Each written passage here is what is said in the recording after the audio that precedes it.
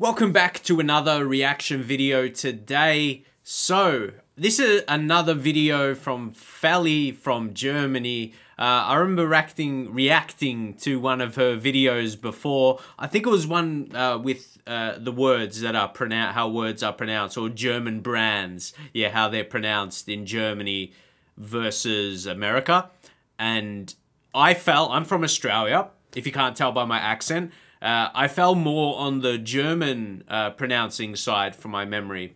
Uh, I'll leave a link of it in the description if you want to check it out. Uh, but yeah, like I'm like from Australia, it's like we copy, it's like we use the British English and not American English. So yeah. anyway, that's for that video. Uh, let's check this one out today. I've been doing, yeah, quite a few German reactions. Uh, you can take a look at my playlist uh, for them. Uh, but I thought I should learn about some of these crazy German laws. Six surprising things that are forbidden in Germany. That's what I mean. I'm learning about Germany, doing some reactions to them. Uh, so, yeah, uh, might need to know these things that are forbidden in Germany. Let's go. It's common in the US, but illegal in Germany? Here are six crazy German laws that you should know about. All right.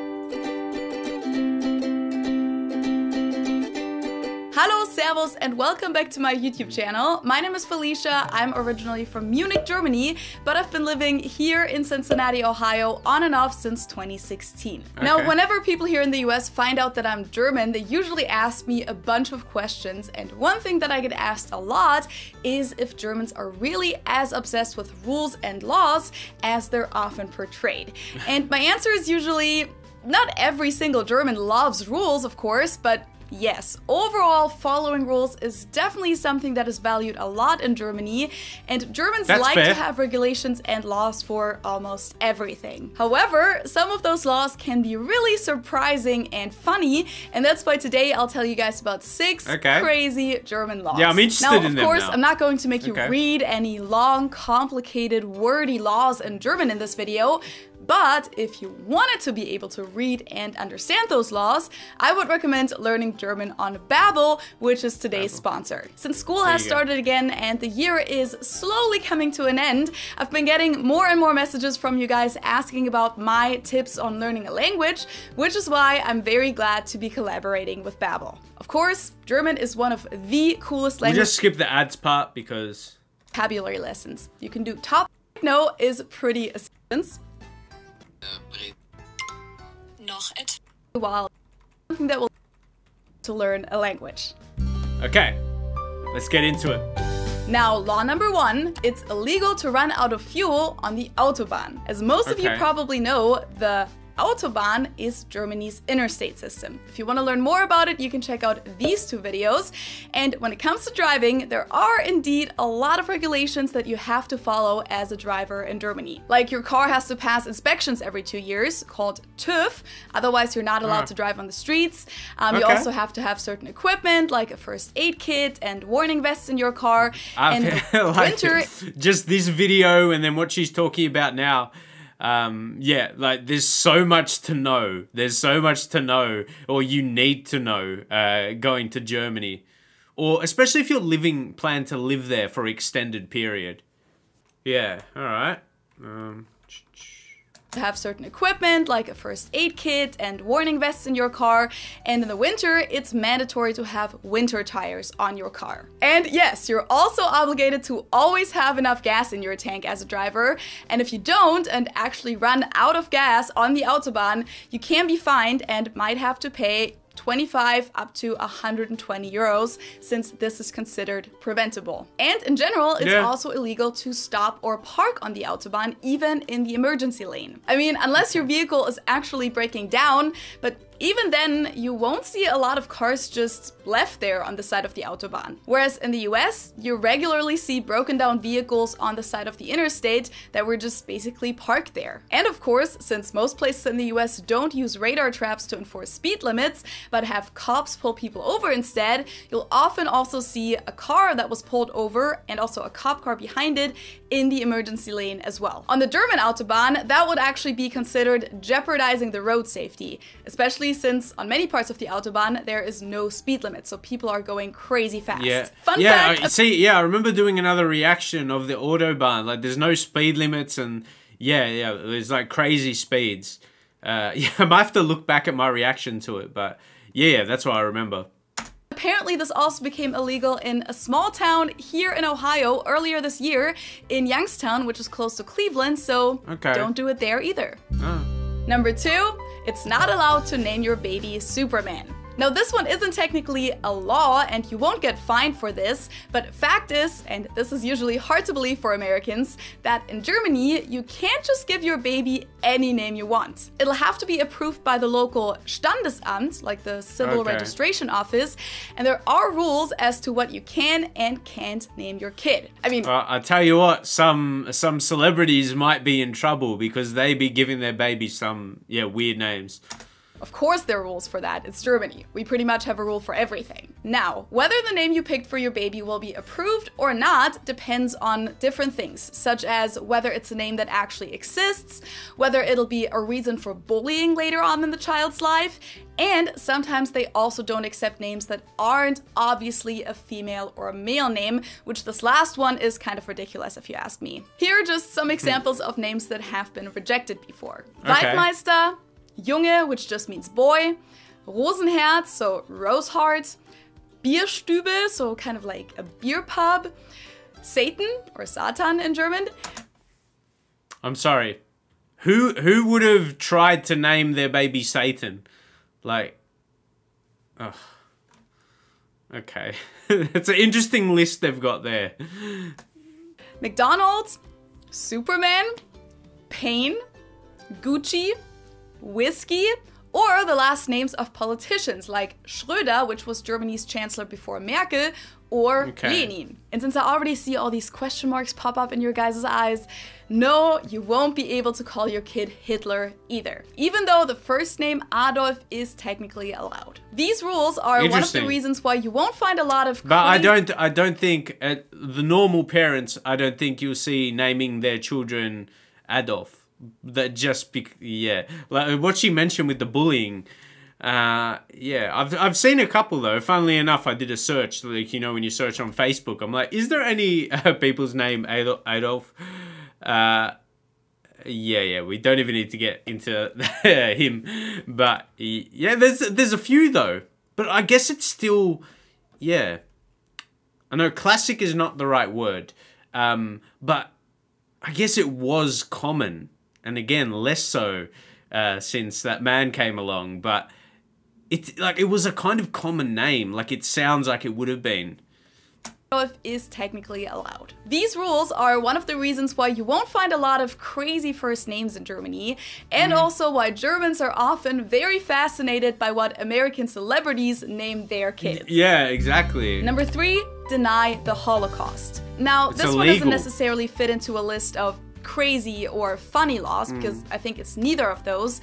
However, many people from outside of Germany and outside of Europe aren't aware of this and find it a very interesting law when they first hear about it. It's illegal in Germany to deny the Holocaust. So you can't just say that the crimes of the Holocaust didn't happen. If you do, you can either get fined for it or you can actually get prison time of up to five years. Wow. Now, I've read many comments on the internet. That's surprising but understandable at the same time because that was such a significant thing to happen. Not in a good way. So yeah. I think if you go to germany i think that's just something silly to do. Like if you were to say say that like like you got you got to be smart about it the crimes of the Holocaust didn't happen.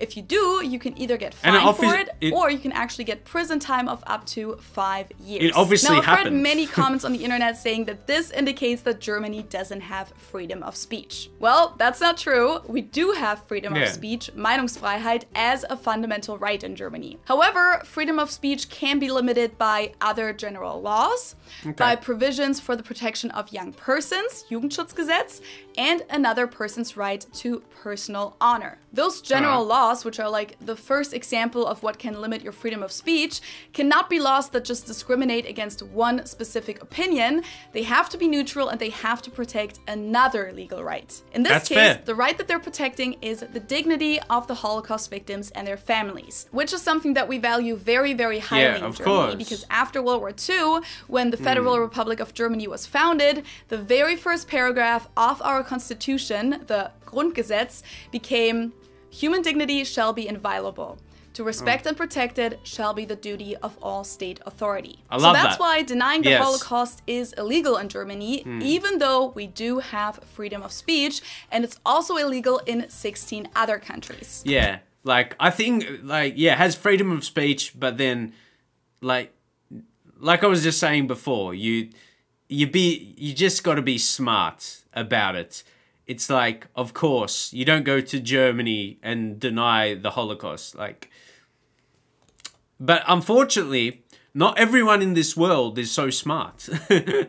Ah, and they th- think they could get away with things, but yeah. That's understandable for me. I wouldn't have a problem with that at all.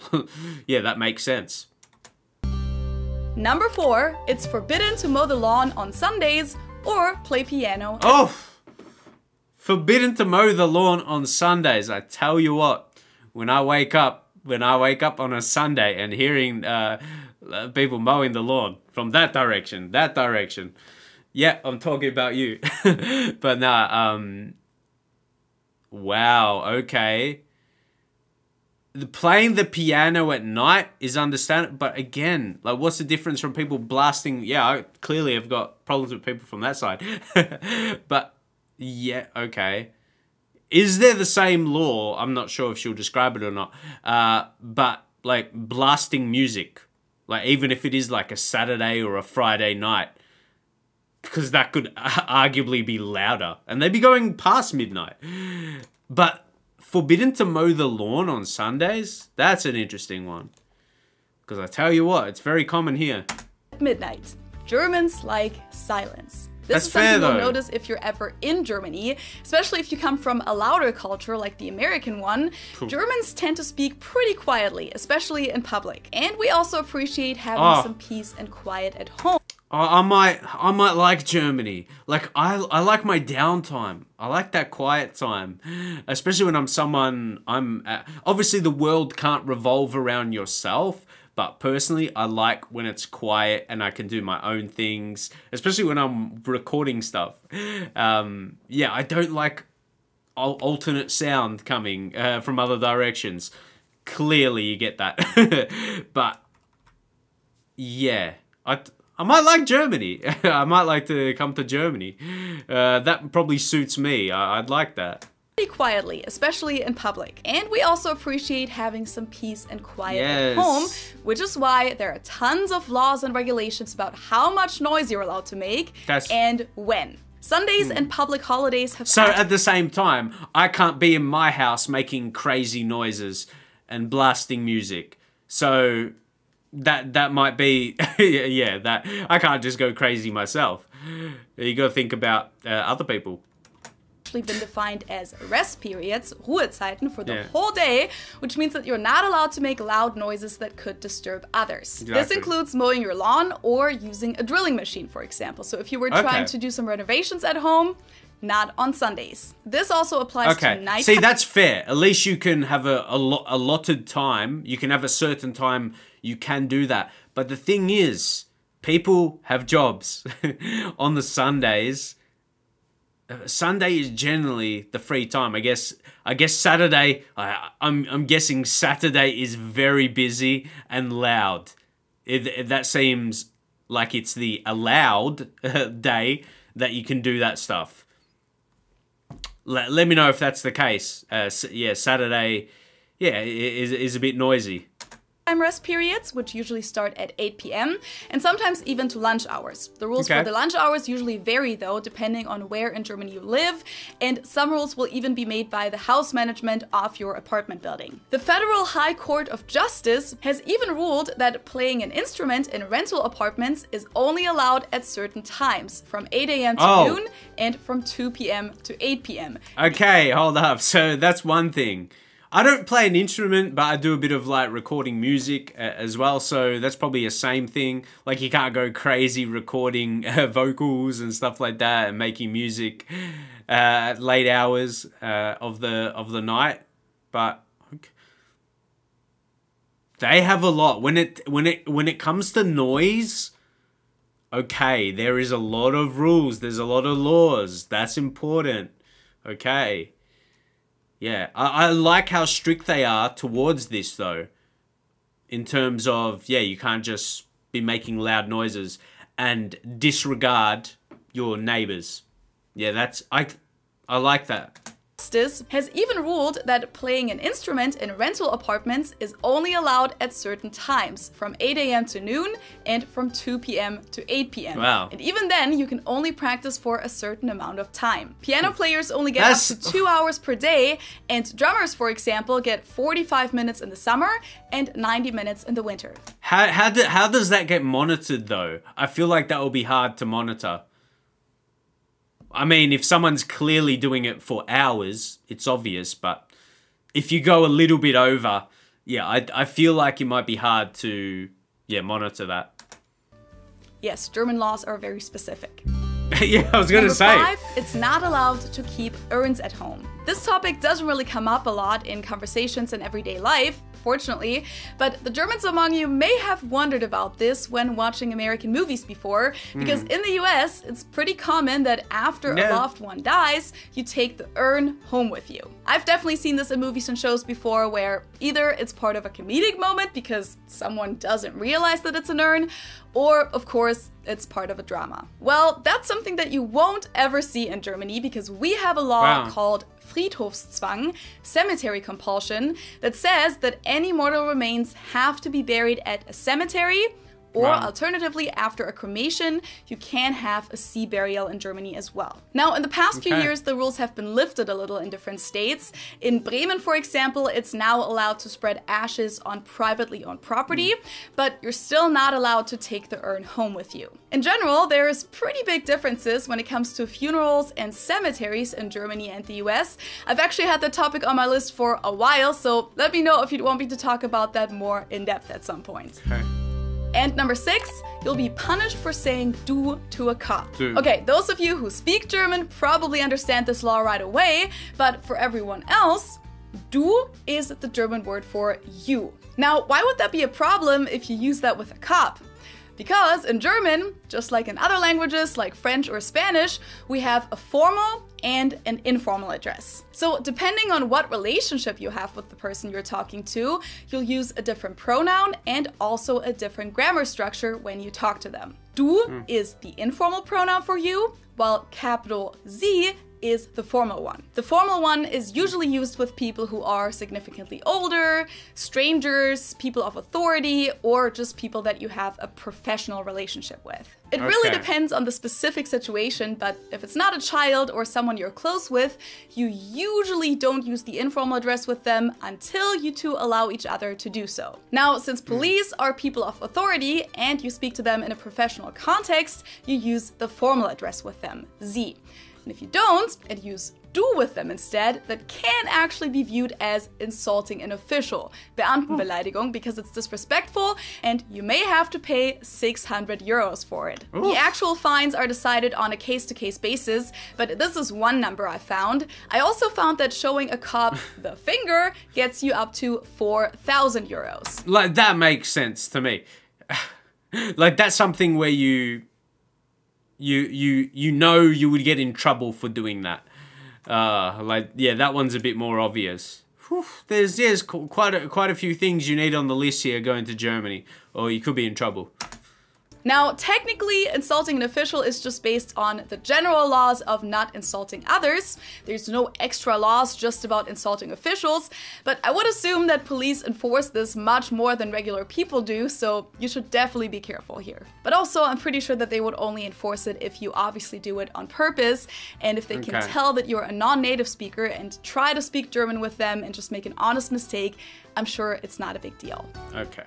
Yeah. Because I'm sure that happens. I have come across a few more very interesting German laws, like the ones about beekeeping, but maybe I'll mention those in the future at some point. For now, what other funny, crazy, or just surprising German laws have you heard of? Share them with me and everyone else in the comments below. And of course, I have been thinking about also making a video about the craziest laws in the US. I'm sure that many of you Ah. have heard some examples of that because the US does have some very interesting laws. So if you'd like to see That's a video sure. about those, make sure to hit the thumbs up button and of course subscribe to my channel so that you don't miss it. As always, you can support my channel through the super thanks button underneath the video, right. by joining my Patreon family, or by buying me a drink on buymeacoffee.com. Thank you guys so much for your support. And since the last Oktoberfest weekend is about to start, if Oktoberfest was actually taking place this year, you can find my Oktoberfest collection, including my beer mugs, coasters, bottle All right. Yeah, this is just all the stuff here. But yeah, uh, shout out to Feli from Germany.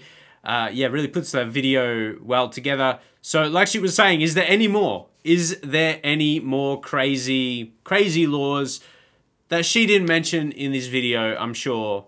Yeah, I'm sure there's more. uh, so yeah, let me know.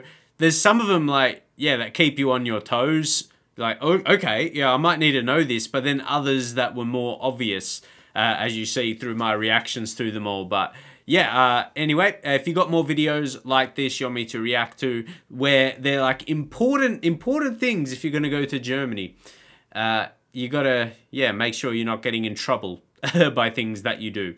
Where where there might be things that you are yeah like the title says surprising where it might seem like something normal in other countries. So anyway i'm going to leave it there. Uh, subscribe for more videos about germany and other reactions. I do a lot on my channel. So uh, yeah let me know some more and i'll see you in the next one